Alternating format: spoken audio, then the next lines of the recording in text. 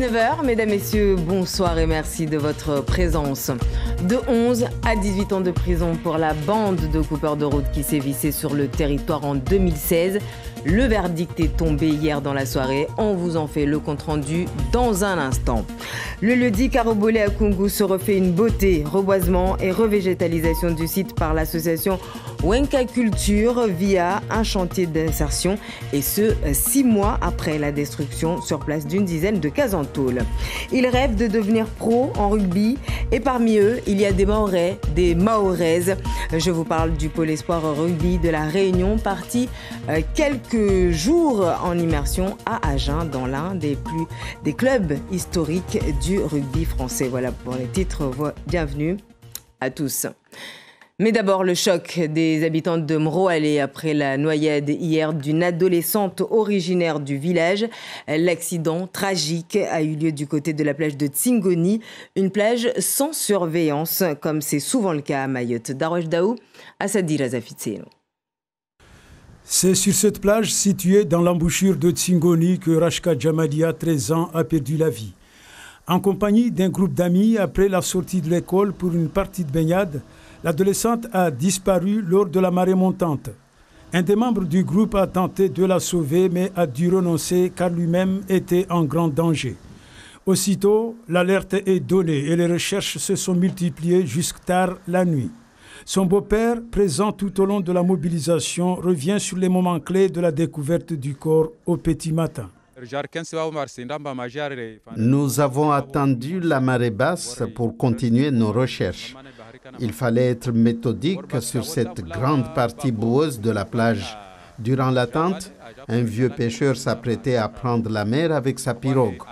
Le bon Dieu a voulu que ce monsieur découvre le corps de notre fille. Après une vingtaine de mètres, il nous fait signe à l'aide de sa pagaie. Nous avons demandé l'autorisation des gendarmes qui nous accompagnaient de sortir le corps de l'eau. Les proches et le village de Mroalé lui ont rendu un dernier hommage dans ce moment d'affliction. Quant aux circonstances de la disparition, nous avons contacté la mairie de Tsingoni dans le domaine sécuritaire et de la gestion des plages dans la commune. Celle-ci souligne qu'elle ne dispose pas à ce jour des moyens humains et logistiques pour faire face à toute éventualité. À Malamani, dans la commune de Chirangui, la nuit dernière a été très agitée. Huit individus euh, venus de Kungu y ont fait une descente dans le but, semble-t-il, de vandaliser, d'agresser la population. Encore réveillés, les habitants se sont organisés pour les arrêter et le maire de Chirangui a même essuyé un crachat euh, par l'un des malfaiteurs, Papino Zaidani Costa Bahari. Voici les deux véhicules des malfrats qui ont été appréhendés par la population à 2 heures du matin à Malamani, calcinés par des habitants excédés par des violences dont ils sont les victimes en pleine nuit. Alors que je dormais dans la nuit profonde, j'ai été réveillé par des personnes qui tapaient à ma porte. Je me suis rendu compte qu'elles étaient nombreuses, alors j'ai pas osé ouvrir et ces personnes se sont introduites dans ma cour. Elles avaient des haches et des machettes. Ces individus étaient très agressifs et très menaçants. Ils m'ont dit qu'ils vont tout casser, en commençant par ma maison. Mon voisin a été attaqué. On l'a menacé aussi et il a dû s'enfuir.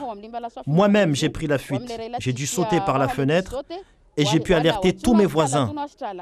Et tout le monde s'est réveillé et sorti dehors. Alerté, le maire de Chirangui s'est rendu sur les lieux auprès de ses administrés et face aux présumés agresseurs. Une fois sur place, il a été pris à partie par l'un des malfaiteurs. Soi-disant, ils disent qu'ils sont venus chercher euh, des, hérissons ici, euh, dans, la zone. Euh, mais la population a constaté qu'il y a eu de, de cambriolage dans des différentes maisons. Donc c'est pourquoi euh, la population a révolté, euh, les, a, les attrapés. Il n'y a pas eu de de, euh, pierre ni agression. Donc moi, j'ai souhaité pareil qu'ils viennent prendre les voitures de force de l'ordre. Et là, il, y a un qui m'a craché sur la figure, qu'ils ils étaient filmés par, par tout le monde. Quatre des huit individus ont pris la fuite. Les quatre restants ont été interpellés par les gendarmes. Et ce qui nous amène au chapitre justice. Le verdict est tombé hier pour les coupeurs de route de 11 à 18 ans de prison prononcés euh, pour neuf d'entre eux jugés pour des faits commis en 2016. Verdict d'ailleurs euh, salué pour sa sévérité dès hier soir par le député Kamardine via un communiqué. Yasmine Jaffar, Jaidi, Maolida et Géraldine, lui. 22h30, victimes et collectifs quittent la salle d'audience. Le procès aux assises des coupeurs de route s'achève. Aussitôt résonne le chant du débat.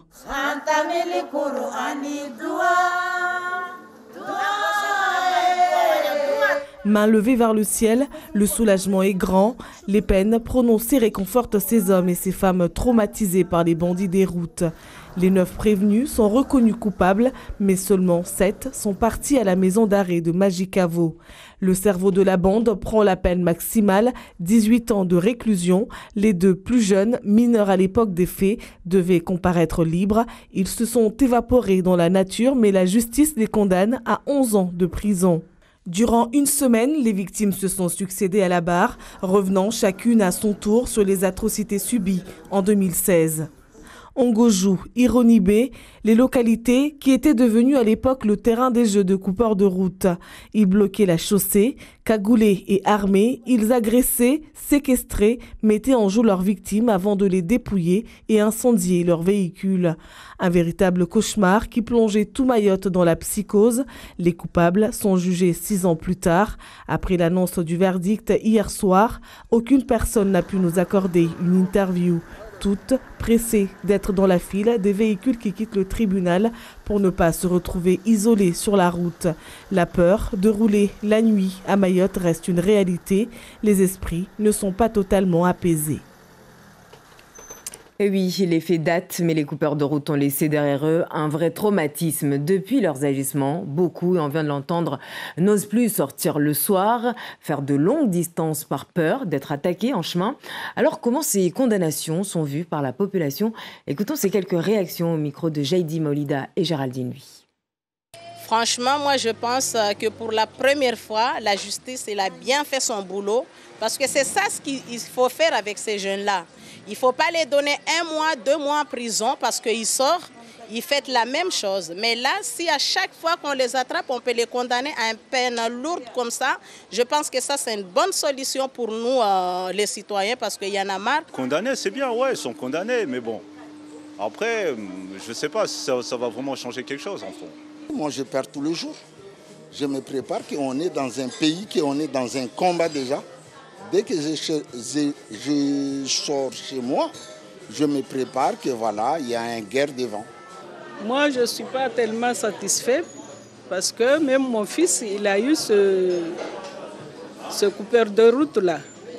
On, l'a trop terrorisé, on l'a mis de couteau. il est traumatisé jusqu'à maintenant. Même là, j'ai envie de pleurer. Quand il m'a appelé, il m'a dit Maman, là, je suis. Je m'a coupé partout, là. franchement, ça me faisait mal. Et là, moi, quand j'ai attendu 18 ans, là, je ne suis pas satisfait. Vous auriez espéré plus? Pour moi, oui. J'espérais avoir au moins 30 ans. Vous, encore aujourd'hui, vous avez peur de prendre la route la nuit Oui, c'est sûr, c'est normal. Je n'ose même pas sortir la nuit dehors. Voilà pour euh, ces réactions euh, sur euh, le verdict des coupeurs de route. Je vous le disais en titre, Carobolé refait, se refait une beauté grâce à un chantier d'insertion mené par l'association Wenka Culture. Depuis le début du mois, des jeunes de la commune de Congo s'activent pour embellir la zone, revégétaliser le site, un site occupé par des cases en tôle il y a six mois à peine. Ibrahim Yahya Youssouf Ahmed Matoir. Ces travaux permettront d'améliorer le cadre de vie et le confort thermique du futur quartier. Ici, des logements sociaux sont prévus. Le quartier va se refaire une beauté. Ce que vous voyez là, c'est la partie qui ne serait pas constructible. Donc on est en train de la végétaliser pour éviter le ruissellement de la terre vers la mer, pour créer des aires de jeu pour les futurs habitants de ce quartier, mais aussi pour embellir la zone. On ne peut pas faire que du béton, il faut avoir un petit peu du végétal à côté. Cela va se réaliser en plusieurs phases et la première étape consacrée à la plantation a permis à des jeunes du quartier de s'insérer socialement. L'association Wenka Culture a répondu à l'appel d'offres. On les choisit par rapport à leur projet, par rapport à... Euh, souvent, c'est des salariés qui ont des difficultés à trouver du travail. Ce projet-là, sur Carobolé, on a privilégié aussi les, habitants, les, jeunes du quartier du Congo. Des jeunes en insertion regroupés ensemble avec ceux qui sont condamnés à des tiges, des travaux d'intérêt général. Cela leur permettra à la fois d'acquérir une expérience d'ordre professionnel, de payer l'amende exigée par les tribunaux, mais également de s'insérer dans l'activité économique. On est en train de planter des fleurs avant la construction des logements. Comme ça, on aura un endroit où il fera bon vivre. C'est vrai, ça fait mal d'être délogé, mais on n'avait pas le choix maintenant. On attend des logements, mais on a toujours peur. Et après plusieurs mois sans emploi, ce chantier d'insertion a permis à ce père de famille de 31 ans d'avoir du travail. On est en train de faire de la plantation de fleurs. Plus, disons qu'on est en train d'embellir euh, notre commune. Un atelier chantier d'insertion qui va durer deux mois, deux mois pour redonner un nouveau visage à ce quartier en attendant la construction des logements sociaux. Mauvaise nouvelle pour nos porte-monnaies. Les prix continuent d'augmenter à Mayotte, plus 1% le mois dernier, nous indique euh, l'INSEE dans sa dernière publication. Sur les 13 derniers mois, l'inflation est de 4,1%. Des prix tirés vers le haut à cause de l'énergie qui augmente de plus de 15% euh, au mois de février. Euh, dans le même temps, l'alimentaire aussi, plus 1,2%. En revanche, les prix des services, eux, reculent au mois de février, moins 1%. L'actualité nationale, internationale, avec le président ukrainien Volodymyr Zelensky qui s'est euh, exprimé cet après-midi devant la représentation nationale, devant la représentation française, l'Assemblée nationale et le Sénat. C'était par euh, visioconférence. Volodymyr Zelensky a déclaré que Mariupol et d'autres villes ukrainiennes euh, frappées par les Russes rappellent les ruines de Verdun. Selon lui, les entreprises françaises doivent quitter le marché russe pour ne pas financer en quelque sorte la guerre, leur guerre, puisque derrière, ce sont des civils, euh, des femmes et des enfants qui sont tués pour rien. À noter euh, que l'Ukraine, comme la Russie, se rejette la responsabilité des blocages diplomatiques. Retour à Mayotte ce soir. Dans ce journal, on a fait le choix de vous faire un rappel des mesures en vigueur ou pas concernant le Covid, puisque les questions sont encore nombreuses au sein de la population, eh bien sachez que le masque n'est plus obligatoire dans l'espace public, les établissements scolaires et les lieux recevant du public, à l'exception des établissements de santé et les transports en commun. Le pass vaccinal est suspendu jusqu'à nouvel ordre, mais le pass sanitaire est lui toujours en vigueur pour accéder aux établissements de santé, ainsi que l'obligation vaccinale pour les soignants. Ce soir, dans Kalawadala, le débat sera autour de la présidentielle et plus précisément euh, sur les propositions des candidats en matière de santé, justement, euh, en matière de social aussi. Euh, pour ce nouveau numéro, City Daroussi reçoit les représentants à Mayotte de la France Insoumise, Yasmina Oni, Saïd Ali Amissi pour le Rassemblement National, les marcheurs avec Jacques Martial. Enfin, les LR seront représentés par Abdel Dekaini. Débat à suivre juste après le journal en Chimarais à partir donc de 20h. Débat dans lequel l'écologiste Yannick Jadot n'est pas représenté, mais voyons ses préoccupations pour l'outre-mer avec nos confrères d'Outre-mer la première. De manière assez dramatique, euh, l'État s'est beaucoup retiré euh, de ces territoires ultramarins. Euh, l'état des services publics en Outre-mer est totalement inacceptable, totalement inacceptable et ne serait jamais toléré dans l'Hexagone. Les territoires d'outre-mer nous rappellent les responsabilités passées, actuelles et futures dans l'action publique. Europe Écologie Les Verts fait tout d'abord mention de réconciliation. La France, huitième pays abritant le plus grand nombre d'espèces menacées, doit sa richesse dans la biodiversité aux territoires ultramarins. Le combat pour sauver la planète en péril commence maintenant. Et pour Yannick Jadot, le constat est simple. L'autonomie énergétique, il n'y a aucune raison, aucune raison que euh, euh, les îles ou euh, la Guyane puissent ne soient pas autonomes énergétiquement à partir d'énergies renouvelables. En 2021, l'ADEME, l'Agence pour la transition écologique, a proposé des axes de travail pour parvenir à cette autonomie énergétique. Un mix 100% énergie renouvelable dans l'ensemble des Outre-mer d'ici 2030, ou encore la conversion en tout électrique des véhicules routiers. Des études et des idées sur lesquelles s'appuie fortement Yannick Jadot dans sa proposition de solution. Ces îles, comme ces territoires, ont la capacité à construire une partie d'autonomie alimentaire. Et ça veut dire un changement du modèle agricole. Ça veut dire qu'il faut réparer, il faut réparer le drame du chlordécone. On peut encore trouver le pesticide dans l'alimentation, dans l'eau et dans le sang de 9 Antillais sur 10. Pour Yannick Jadot, la reconnaissance du cancer de la prostate comme maladie professionnelle n'est pas suffisant. Il s'engage à dépolluer les sols et indemniser l'ensemble des victimes du chlordécone nous réparerons à la fois ce drame sanitaire, ce drame environnemental, en donnant tous les moyens de cette transition euh, agricole pour faire en sorte que euh, ces îles puissent euh, se nourrir au maximum sur la base de, de l'autonomie alimentaire. Europe Écologie Les Verts s'engage à développer des projets d'action sur les problématiques qui ont marqué les territoires. Comme l'orpaillage en Guyane, des estimations d'exfiltration annuelles font état de 10 à 12 tonnes provenant d'exploitation illégale Seulement 2 tonnes sont déclarées chaque année. Ils reviennent également sur la lutte contre les sargasses qui investissent le littoral des Antilles depuis 2011, conséquence du réchauffement climatique. Pour la Réunion, Yannick Jadot se positionne fortement dans la lutte contre le projet de la nouvelle route du littoral. Le chantier est jugé déraisonnable sur le plan environnemental en plus d'être un gouffre financier. Avec ses propositions, Yannick Jadot veut réduire le mal-être des citoyens de tous ces territoires éloignés de l'Hexagone.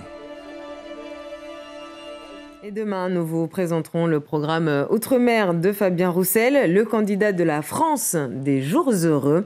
J'ajoute aussi que demain matin en radio, la députée euh, sortante de la circonscription 1, Ramlati euh, sera l'invitée de Zakweli, présentée par Yasmine Jaffar à partir de 7h15. On passe à toute autre chose avec le passage dans l'île de Dinesh Gajli, gouverneur du Rotary, zone océan Indien. Vous le voyez ici, en veste noir. Euh, il est venu soutenir les membres de son club, leurs actions, voire leurs difficultés. Dinesh Gajli a pu rencontrer pendant son séjour euh, de jeunes porteurs de projets issus de la couveuse d'entreprise Ujerebu à Mamoudzou. Je vous propose de l'écouter. Il est au micro de Hachim Seyd Hachim et Far On a vu euh, au cours de cette visite les actions qui, euh, qui, se font, qui répondent aux besoins de la collectivité. J'ai été très ravi de participer à euh, l'action euh, en partenariat avec la couveuse pour un besoin économique. Donc on a vu des jeunes remplis d'espoir, d'avenir et qui parlent de développement à la fois économique mais aussi de développement du pays de Mayotte. Et je crois que ça, c'est très important et c'est gratifiant. Grâce à ce genre de soutien, nous pouvons envisager un avenir beaucoup plus important. Et puis, nous avons aussi vu d'autres actions comme euh, le soutien aux enfants de la Lune, donc pour un soutien beaucoup plus euh, euh, direct en matière de santé, de, bien-être de l'enfant. Et ça aussi, c'est très important. Alors l'aide va se traduire à plusieurs niveaux. D'une part, euh, l'encadrement, le montage, le montage de l'action, venir avec des idées innovantes pour dire, ben, on va favoriser le développement des jeunes, on va envisager un avenir économique et penser à l'entrepreneuriat plutôt que se dire on ira juste dans un contexte d'employabilité, mais aussi dans un contexte de développement de la personne, euh, du pays et de l'économie. Avant de nous quitter, parlons euh, du pôle espoir de rugby de la Réunion, dans lequel se trouvent de jeunes Maorais. Euh, ces derniers ont passé une semaine en immersion à Agen, dans l'un euh, des clubs historiques du rugby français. Le but pour eux était de se frotter aux exigences du haut niveau et se jauger par rapport à leurs homologues agenais. Eric Santas, Emmanuel Gir. Agen respire rugby depuis des décennies. En terre historique, les vins protégés de Martien Adolphe ont donc débarqué sur une nouvelle planète, une découverte à tous les niveaux. Quand on est arrivé à la plaine d'Armandie, ils ont vu 1, 2, 3, 4, 5 terrains de rugby. Et ça, pour eux, ça a été déjà quelque chose d'assez marquant. C'est-à-dire qu'à La Réunion, on a un terrain de rugby tous les 50 km. Et on a euh, un officiel et après les autres, c'est des terrains de rugby foot. Tous ces jeunes joueurs et joueuses du Pôle Espoir ont dû s'adapter à un nouveau rythme et à un niveau qu'ils ne connaissaient pas. Ce qu'on voulait leur montrer, c'est un petit peu l'exigence du niveau qu'il y avait, euh, avait ici, euh, alors dans plusieurs clubs de formation, hein, que ce soit à Gênes ou d'autres clubs, mais l'exigence qu'il fallait, qu'il fallait atteindre pour surtout se donner pour atteindre le haut niveau et qui se confronte techniquement, tactiquement et stratégiquement à ce qui se faisait de mieux ici. Rugby matin et soir, entre pratique et théorie, Loris et ses copains côté garçons ont dû s'adapter face à leurs rivaux à Genève. Motivés, ils ont répondu présent. Ici, le rythme euh, il est quand même plus élevé. Euh, tactiquement, ils sont au-dessus, techniquement aussi. Euh, le mouvement de jeu est déjà plus rapide ici qu'à La Réunion. Ça, prend vite le niveau, du coup, je pense que ça peut le faire. On marque là-bas. Le rugby est une école de la vie. L'école de rugby est aussi une étape. Garçons et filles du pôle se sont transformés en éducateurs l'espace d'un après-midi avec les tout petits du SUA. Moi aussi, j'ai commencé à leur âge, donc vers 5-6 euh, ans, je leur apprends à faire des passes, à contrôler leurs mouvements et euh, à savoir jouer. Transmettre aux autres, c'est aussi se transmettre à soi-même, donc euh, c'est assez cool. T'as vu ça J'aime bien le rugby, c'est euh, au fond de moi, j'adore ce sport et euh, j'essaie d'aller plus loin dans le sport. Pas pro pro, mais aller plus loin dans le rugby. Je sais pas quand est-ce que je vais m'arrêter, mais j'ai envie d'aller plus loin que ça. Rakshina et Zara sont motivées, elles savent que comme les garçons, elles sont observées. Pour leur âge, 16 ans, c'est le moment opportun. Du côté fédéral, il n'y a pas de temps à perdre pour construire le futur plus ils arrivent tôt, plus ils sont imprégnés aussi de la culture, du, niveau qui monte euh, très vite aujourd'hui chez les jeunes joueurs de toutes les Outre-mer. Et le rugby doit, aussi rechercher dans ces territoires les, futurs euh, grands joueurs français. Et belle preuve d'intégration, les filles du pôle ont en quelques secondes compris le paquito chocolatero des troisième mi-temps. Elles apprennent vite. Voilà qui met un terme à cette édition. Merci de votre attention. Demain 13h, Papino Dani pour l'info de la mi-journée. Mais tout de suite, la météo, on se retrouve juste après pour le journal en Chimoré. Très belle soirée à vous.